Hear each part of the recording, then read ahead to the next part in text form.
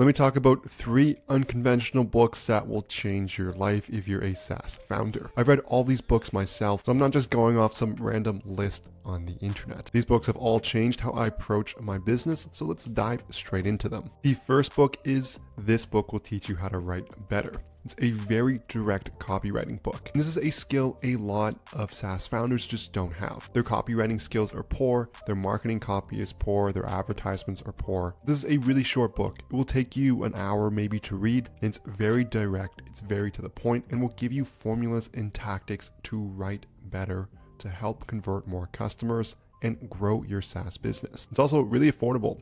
In Canadian, it's only 5.30. I think it's around $4 US. And again, because you can read it in such a short amount of time, you can pick it up today, have it finished in an hour, and it's going to completely change how you write copy. You're going to go to your landing pages and just try to rewrite everything, knowing everything you know in this book. So it's one of my favorites I've recently read. Make sure you check that out first. I just want to pause quickly and say in the description below, you can get 10 new micro SaaS ideas you can steal, completely free PDF. All you have to do is enter in your email. So check out the link in the description. The second book is called Built to Sell. Now, if you're a SaaS founder, you might have never thought you were going to sell it. Maybe you're going to run your business for as long as you can. But at some point, it will cross your mind and Built to Sell is a book on how to create a business that can thrive without you. Although there is this selling component here and is told as a fictional story, it's going to cover all the stages that are relevant. And a lot of it is how to build a business that can work without you. If you're a solo founder, this can help you operationalize your business, maybe remove yourself a little bit. Or if you have a small team, you're most likely making all the decisions and if you want to sell it to something or someone, you're going to get a really low multiple if you're essential to the business, as they then have to go in, hire someone to replace you, or overall just a great book. And even if you're not planning to sell in the near future, it's something you want to read,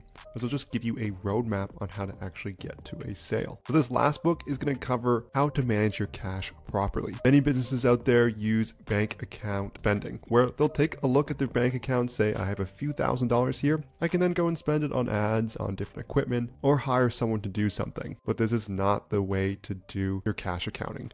Now, this isn't about building a balance sheet or anything more accounting focused. It's really just how to manage your cash effectively so you can do things such as pay your taxes, know that you can affordably pay someone else, and lastly, it's to pay yourself. Most founders just leave all their money in their business and they end up just working for less than minimum wage. What was the point of starting your own SaaS company with high profit margins and reoccurring revenue if you're not going to get any of the benefits? So definitely a recommended read for any SaaS journey, no matter what stage you're at. So that concludes my video here on three unconventional books you need to read as a SaaS founder. If you enjoyed the video, I would love it so much if you hit that like and subscribe button below coming with new SaaS and micro SaaS videos all the time. Do you want to be subscribed? If you have any questions or suggestions for books, leave them in the comments below. I'll mention quickly again if you want to get more micro SaaS ideas, there's a link in the description below. We can get 10 new ideas for free. Thank you so much for watching.